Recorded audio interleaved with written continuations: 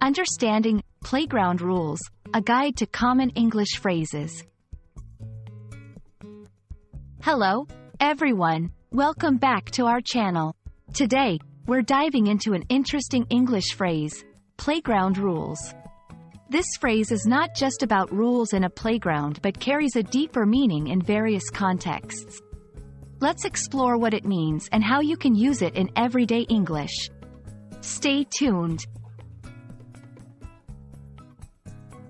Playground rules refers to the basic, often unspoken rules that are understood and followed in a particular setting, similar to the simple rules children follow on a playground. These can include aspects like taking turns, sharing, and being fair. It's a metaphor used to describe the expected behaviors and social norms in different scenarios, be it at work, in a social gathering, or in a community.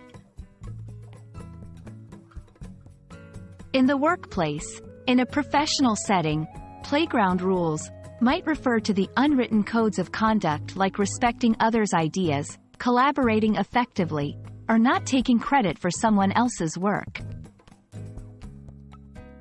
In social settings, among friends or in social circles, these rules could be about inclusivity, not spreading rumors, or showing empathy towards each other, akin to how kids are expected to behave on a playground. In global contexts, globally, Playground rules can imply basic etiquette and mutual respect that nations or international players adhere to, such as in diplomacy or global trade. Understanding these rules is crucial for effective communication and maintaining harmonious relationships. It helps in navigating different social and professional settings more effectively, ensuring that you're respecting the unspoken norms of each environment. Playground rules might seem like a simple phrase, but it encompasses a wide range of social etiquettes and norms. Grasping these unspoken rules can greatly enhance your interpersonal skills and help you adapt to various environments.